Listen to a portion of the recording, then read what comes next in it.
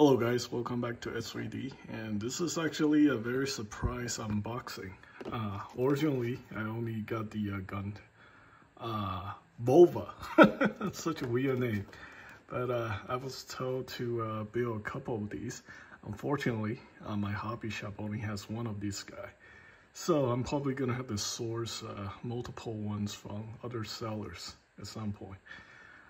Uh, this is the uh, Zowort Heavy from the uh, high grade uh, which from Mercury line.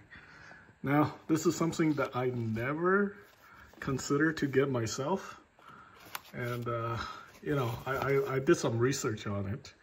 Uh, I was told uh, to build a couple of these. Um, so what essentially is happening is, you know, the 30 minute missions tabletop guys uh, they want to switch over to army building these uh, Witch from Mercury kits. Uh, there's four factions, uh, apparently, with the uh, high grade uh, Witch from Mercury line. So you have, you know, the, the Lanzas, you have these guys, and then you have the uh, Gundvolva, and then there's another group. So makes it really uh, interesting for, uh, you know, army building.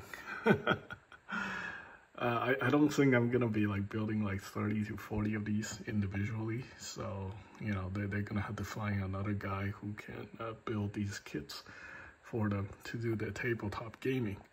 Um, I built about 50 Altos and 50 uh, Portanova back in the day. And that was, uh, that was quite a chore. And then uh, some of them, I even had to repaint because, you know, they wanted custom color schemes. But yeah, uh, apparently, you know, Gunpla is a lot cheaper for uh, tabletop gaming than, you know, stuff on Warhammer 40k. Nowadays, you know, most people just 3D print this stuff anyway. So let's go ahead and take a look at the manual here. Um, this is not a very uh, parts intensive kit. As you can see, there's only four runners right here.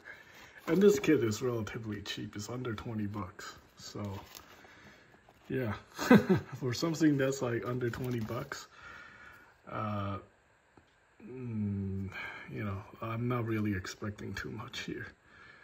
Yeah, it, it actually have the, uh, it, it looks very much like something that comes out from Armored Core. So, yeah, so, you know, 10 bucks a bag, I guess. right there. Not bad, not bad. So this is the uh, Zowort.